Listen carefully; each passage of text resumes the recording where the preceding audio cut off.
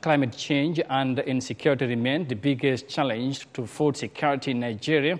Numerous conflicts between farmers and herders in Africa's most populous nation amid uh, changes in the weather patterns has affected production, leaving more than 25 million people facing hunger.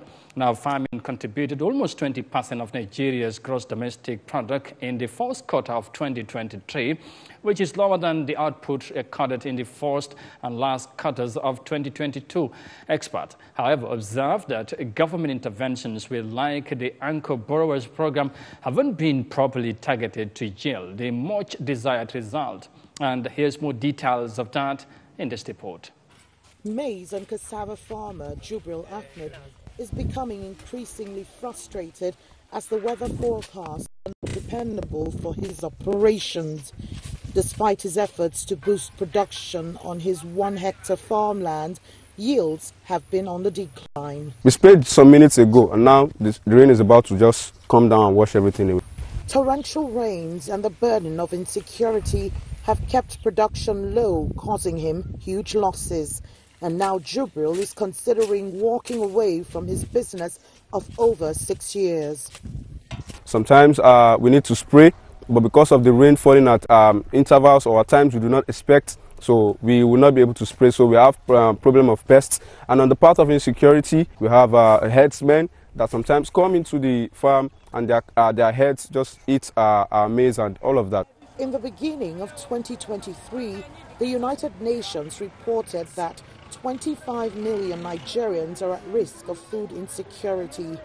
Agriculture experts worry that erratic rain patterns have changed the planting schedules and that could deepen hunger amid a decline in agricultural outputs. The bottom line of all of this is there is a decrease in food production despite more effort from the farmers and insurance companies are way more careful when it comes to insuring farms. The loan companies, your financial institutions and all sees farming as a major risk because there is a part of farming that they cannot control that is not uh, human dependent but rather nature dependent. Agriculture contributed almost 20% of Nigeria's GDP in the first quarter of 2023. That is lower than the output recorded in the first and last quarters of 2022. Experts say government interventions like the Anchor Borrowers Program haven't been properly targeted to yield the much desired results.